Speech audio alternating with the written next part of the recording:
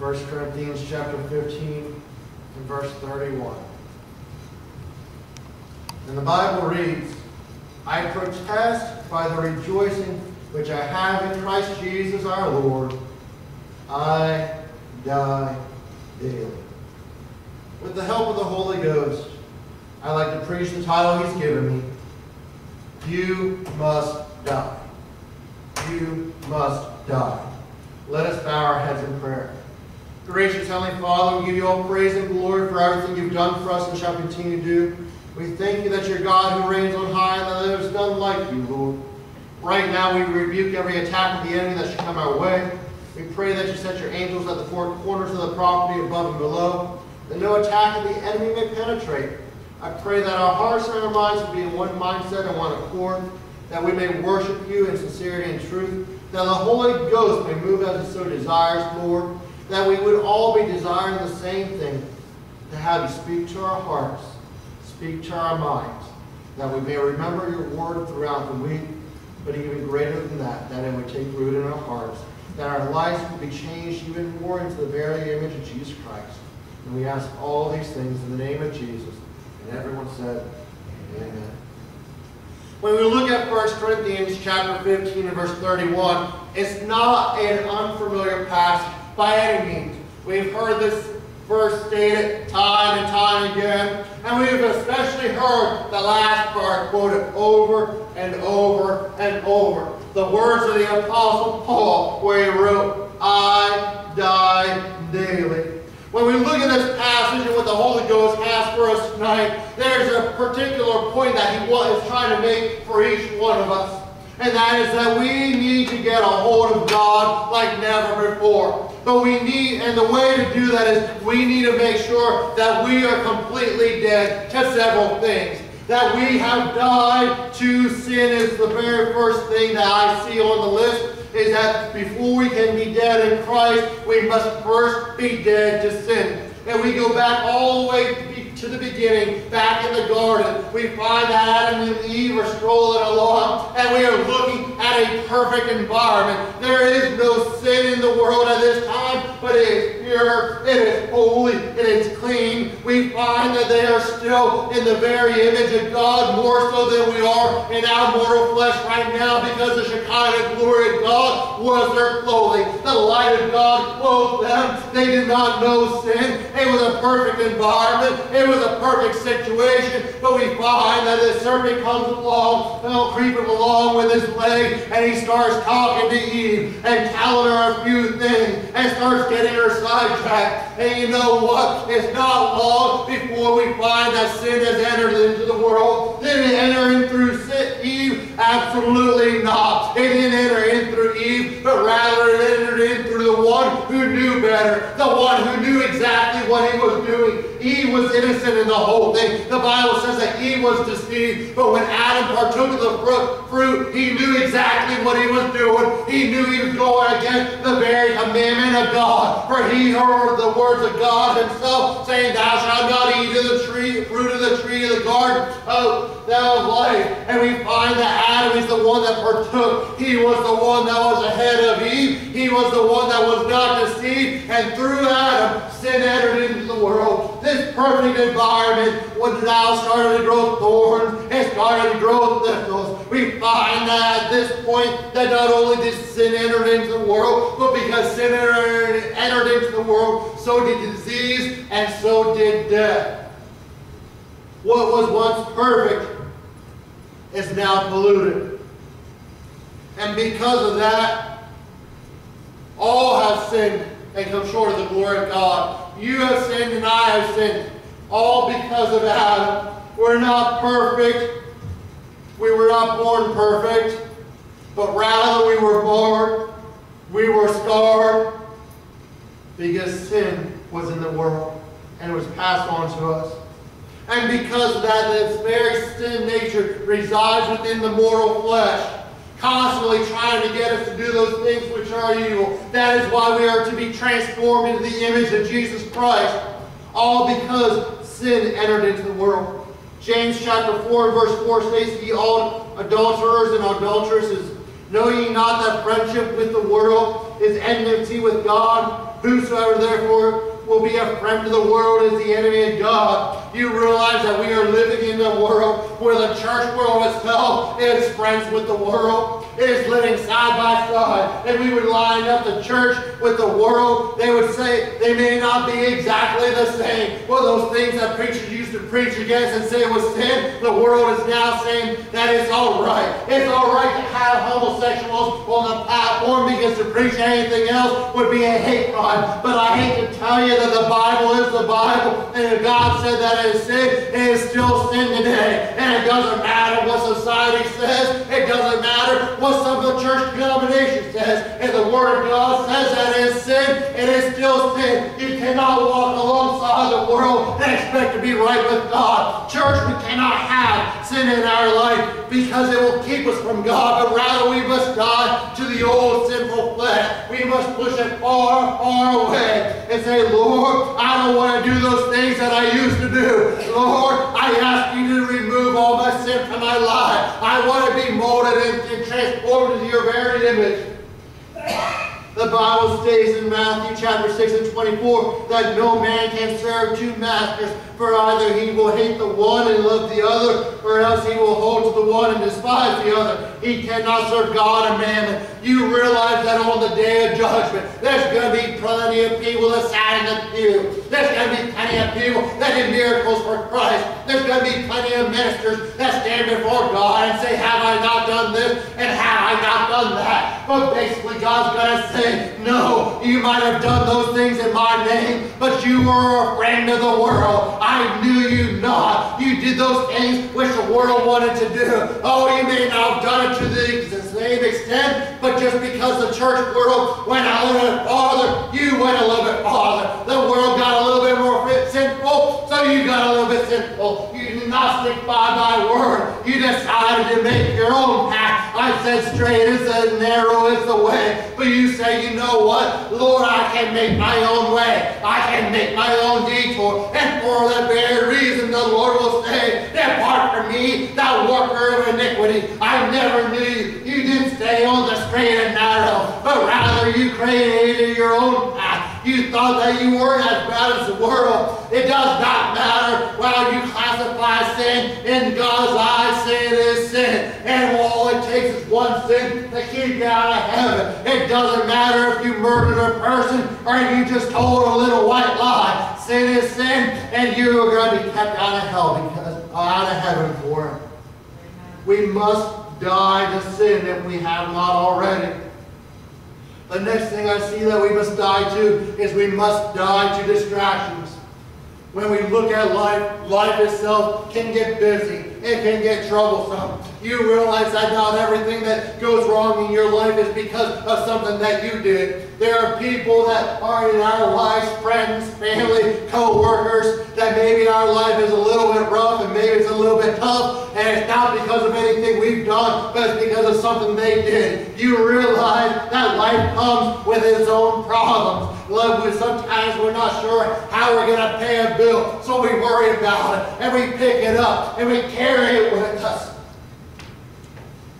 The devil will bring distractions into our own life to keep us from God. The Bible states in 1 Peter chapter 5 and verse 7 to cast all your cares upon him, for he careth for you. You realize that the devil will come in and whisper those thoughts in your ears. He will whisper those distractions in your ears. Well, what about this situation? Well, what about that situation?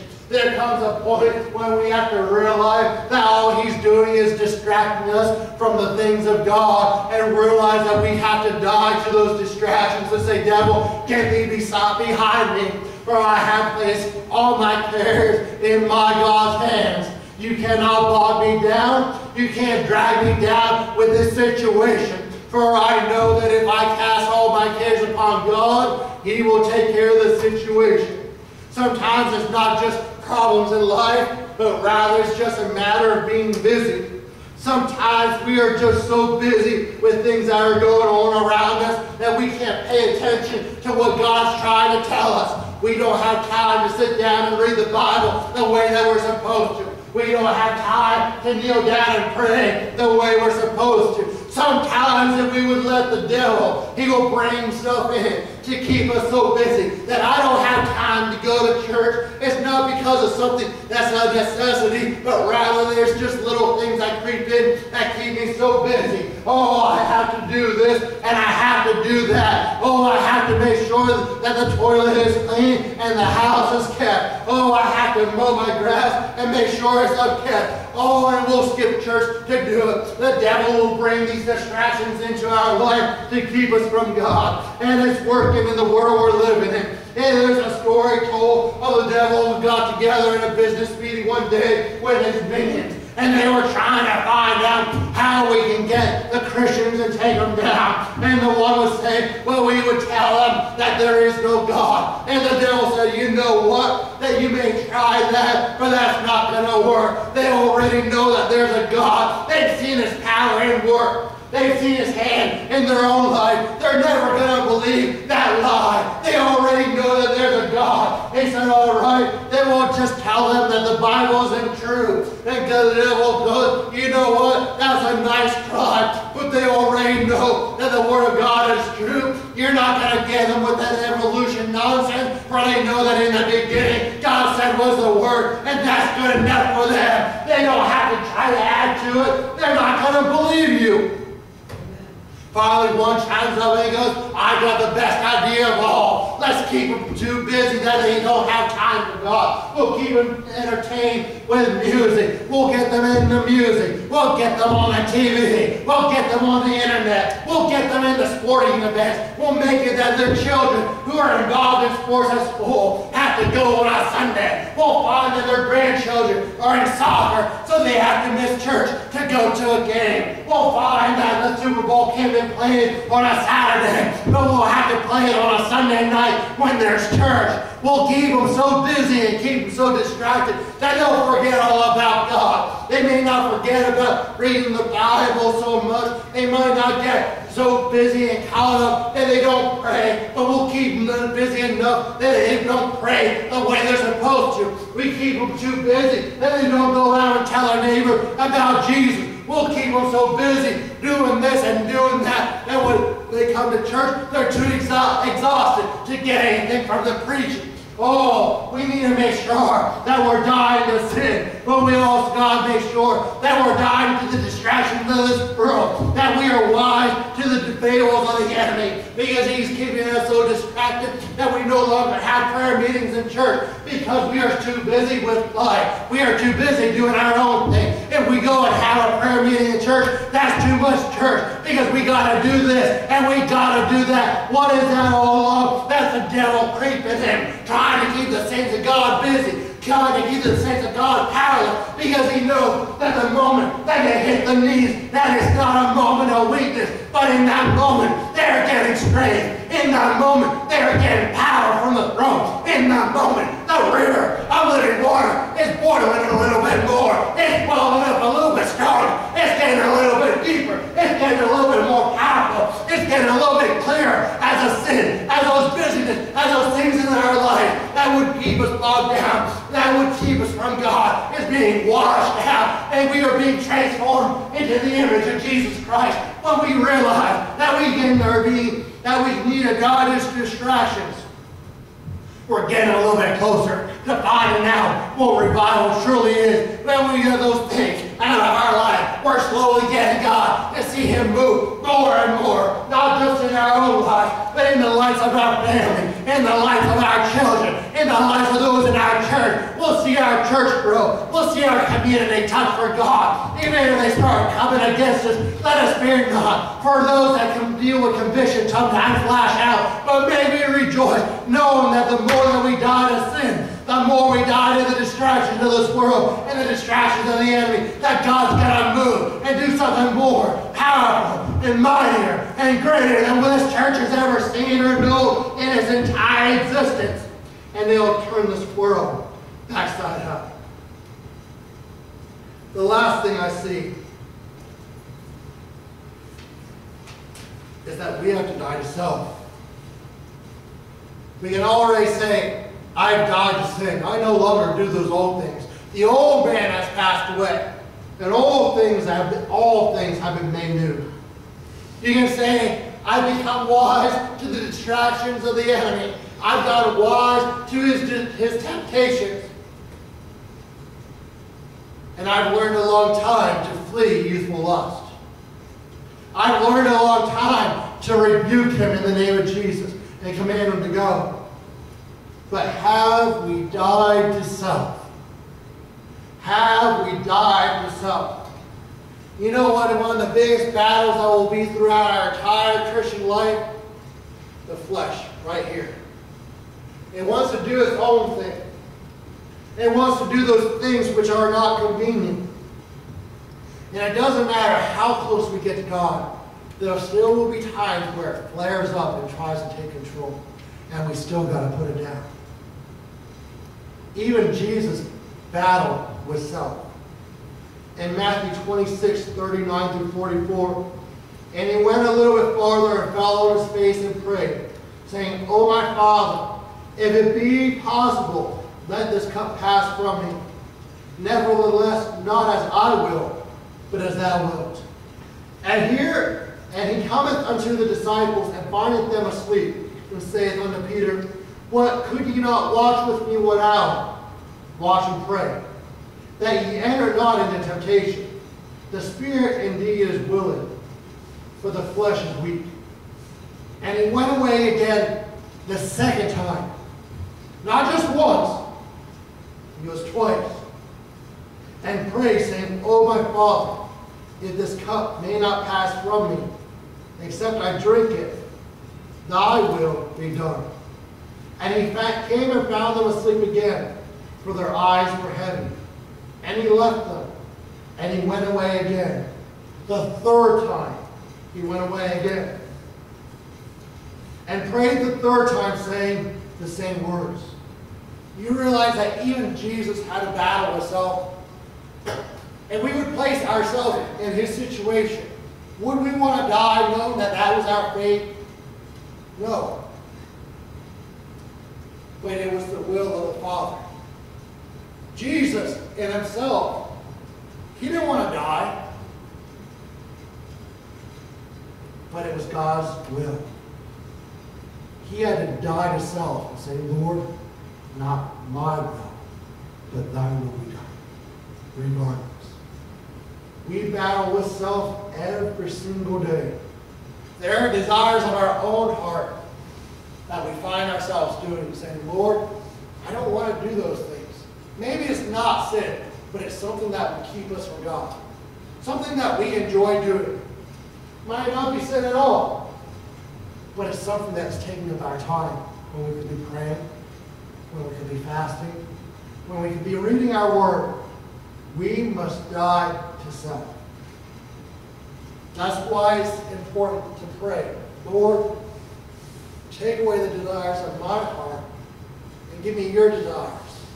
That I may die to self more. Because, Lord, I want to be transformed into your image even farther. The desires of our heart can be are deceitfully wicked. And we don't even know them sometimes. But we have to die to self and say, Lord, reveal these things to me that I may do them no more. Reveal them to me so when they arise, I can push them aside. Say, Lord, I just want to be transformed in your image even more. Are these desires entertainment? Are they hobbies? These desires can be absolutely anything. They don't have to be bad, but if they keep us from the things of God, if they take up time that we can be spending in prayer, time spent in fasting, time spent in reading the Word of God, we need to make sure that we die to self daily. As Sister Beth comes to the piano, over in Rome, right next to the Forum, before the Forum was even built, there was a spring. And it's called the Maiden Spring. It wasn't just nothing big or grand like we would think of the Mississippi. but it was pure. The water was like crystal. It was like nothing else around. It wasn't this big mighty thing, but yet this little crystal stream, this fountain that was natural, inspired musicians, and songs were written about it. It inspired poets, and poems were written about it. This little spring, this little fountain that was pure and crystal was the inspiration for all kinds of arts and works. But as the Roman Empire expanded and time went on, debris started filling in around that fountain. And in time, it got lost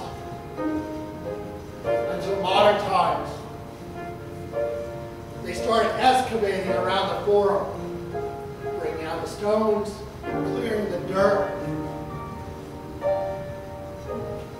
But all those poems, all those songs about this maiden's fountain, they stood the test of time. And they went digging for this mountain. And they removed, I don't know how much debris from this fountain. I couldn't tell you of work it took, Sister Tina, of them just digging right around where the spring should have been declaring all this debris, Brother Craig, that piled up over time. Until one day, one worker while I was digging, up through the ground shot, shot this crystal clear water. It was the maiden's fountain. You know, I don't know who needs to tonight, but somebody needs to remove the, the mountain from their fountain. Maybe it's all of us. But God is telling us tonight that you must die. You must die to sin. You must die to distractions. You must die to self. If we really want to see a revival, if we really want to see God move,